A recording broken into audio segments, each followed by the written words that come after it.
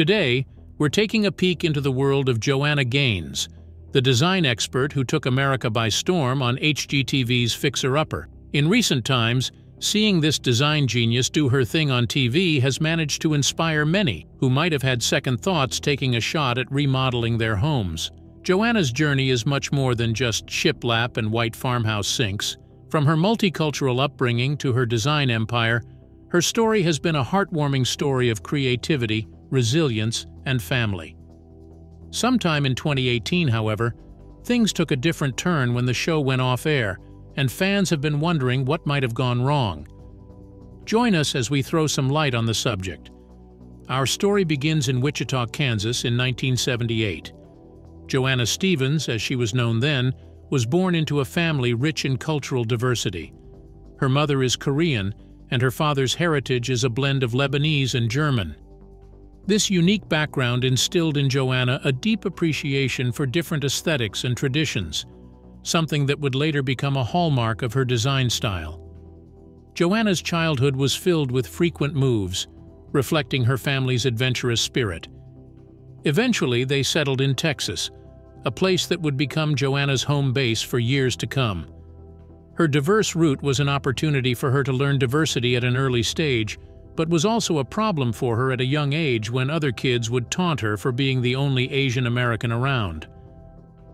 Luckily, Joanna could not be bullied into making herself feel any less than the others. She kept her head up and was able to pull through.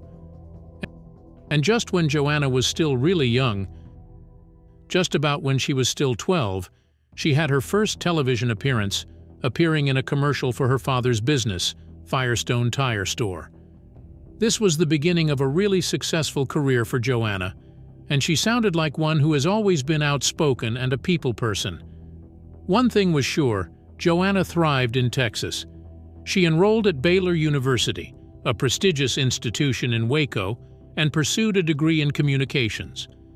While communications might seem far removed from design, Joanna's studies honed her communication skills, which would prove invaluable in her future endeavors, molding her into a lovable character that is also well grounded in her skills. But amidst her academic pursuits, Joanna discovered a passion that would define her career path, and this was when she decided it was time to take a shot at design.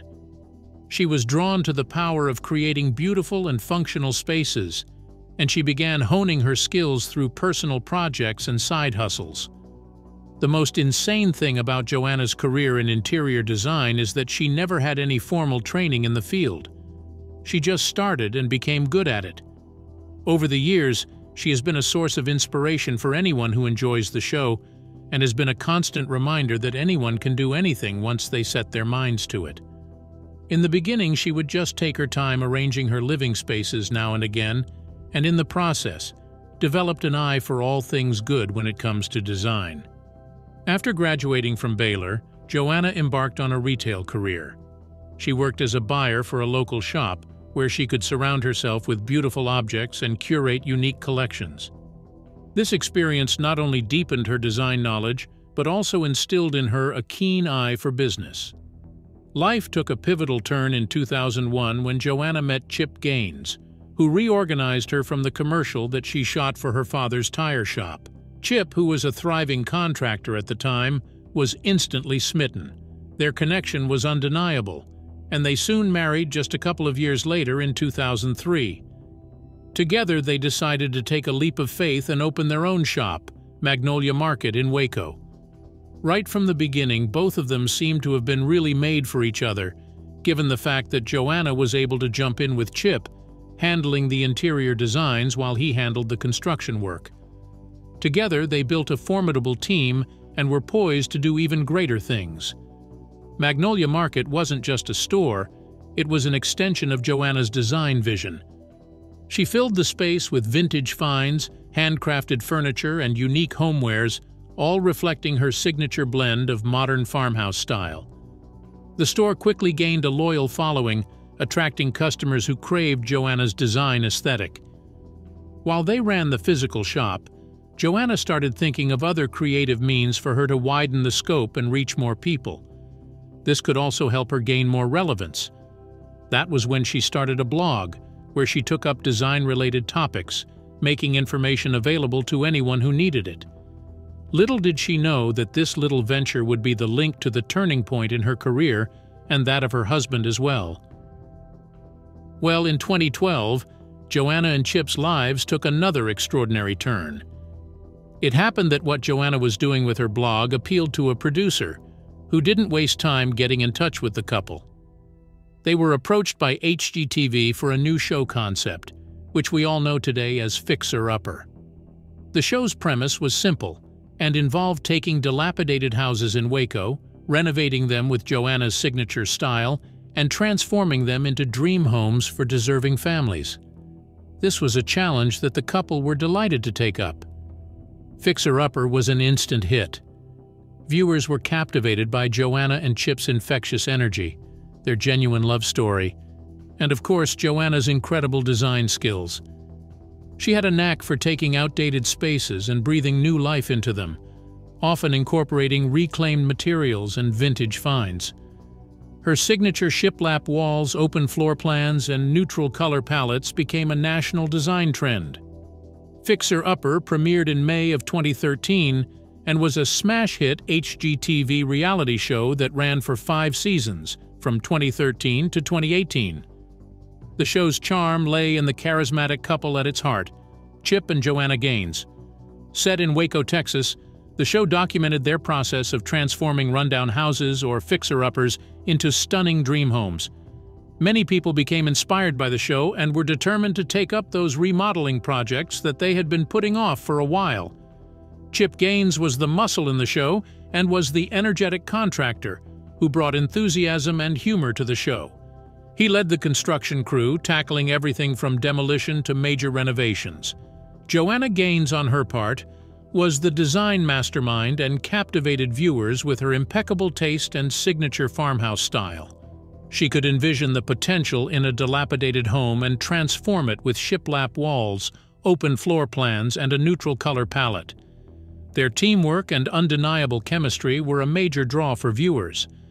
Outside the joy of seeing beat-up buildings being magically transformed into something out of this world, the feel of originality that viewers got from the couple was also a major attraction for the show.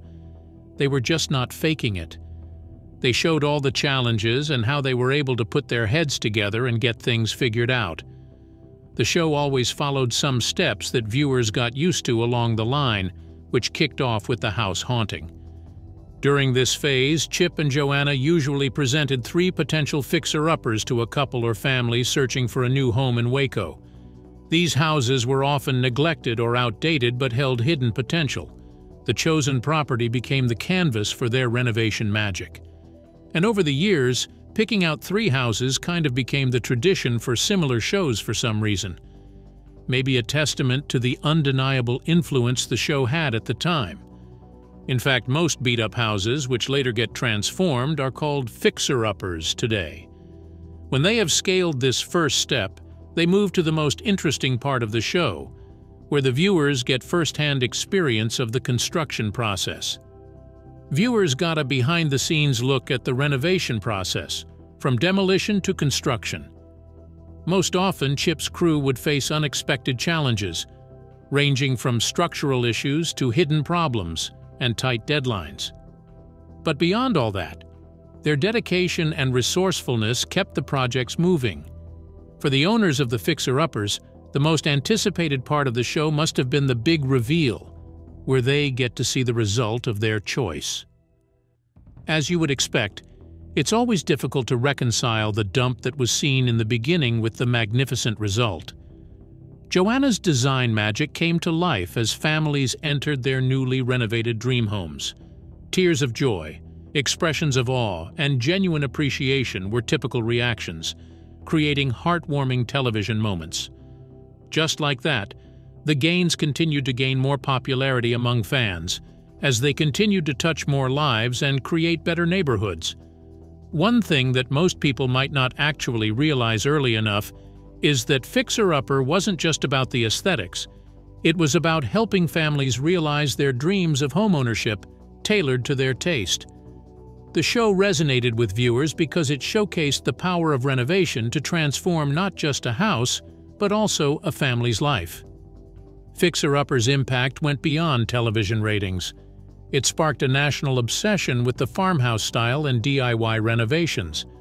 Joanna Gaines became a design icon, influencing trends and inspiring countless viewers to tackle their own home projects. The show also put Waco, Texas on the map, attracting tourists eager to experience the Magnolia lifestyle inspired by the Gaines. One thing was for sure, Fixer Upper wasn't all smooth sailing. Renovating old houses often presented unexpected challenges, from structural issues to hidden problems. Joanna and Chip faced tight deadlines, demanding clients, and the pressure of filming a successful television show. But through it all, they persevered. Their teamwork, communication skills, and unwavering commitment to their clients shone through. They tackled every obstacle head-on, and in the process, they inspired millions of viewers to embrace renovation projects and create their own dream homes. But later, it turned out that there was just so much anyone could take. Along with the television show, Joanna and her husband never stopped building the Magnolia empire. So they were tasked with taking care of their business, running the show, and also taking care of the demands of a growing family. So, after five successful seasons, Joanna and Chip decided to step away from Fixer Upper in 2018. The news came as a shock to their audience, as it seemed things were going well with the show. Everyone was expecting that it would be one of those shows that would run for decades. But things don't usually work out. According to the reports that we got from the couple, they said that they just wanted to focus on their growing family and burgeoning business empire, Magnolia. At this point, Magnolia was more than just a store. It had become a full-fledged lifestyle brand, growing into aspects other than the decor store that it originally started as. Joanna's gained popularity must have been a major boost for the business, and it has been an upward move ever since. Joanna, with her keen business sense, spearheaded the expansion of Magnolia. They have the Magnolia Silos, which was opened in 2016. Joanna and Chip opened Magnolia Silos, which is a sprawling complex that encompassed their original store alongside new shops, restaurants, bakery, and event spaces. Magnolia Silos became a pilgrimage destination for fans, attracting tourists from all over the country who craved a taste of the Magnolia lifestyle. Also, they have the Magnolia Market at the Silos, which is a dreamland for interior decorators. Building on the success of Magnolia Silos, Joanna launched Magnolia Market at the Silos, a curated shopping experience featuring a variety of vendors selling homewares, apparel, gifts, and Magnolia-branded merchandise. In all that was going on with Joanna, she never gave up on her writing and also launched the Magnolia Journal in 2016.